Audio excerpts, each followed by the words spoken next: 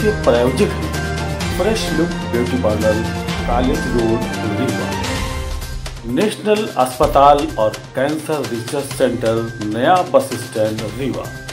और उत्सव राजविलास। शादी बारात के लिए रीवा की सर्वश्रेष्ठ जगह रुपया टंकी रीवा। नमस्कार मैं जीशान जावेद आप देख रहे हैं न्यूज़ नेटवर्क टुडे रीवा शहर के बीचों बीच नगर निगम की गाड़ी से सरेआम सफ़ाई कर्मी डीजल चुरा रहे हैं। उन्हें किसी का कोई भी खौफ नज़र नहीं आ रहा। माना जा सकता है ये रीवा शहर के नगर निगम के लिए कोई नई बात ना होगी। आए दिनों इस तरीके से काम करते होंगे।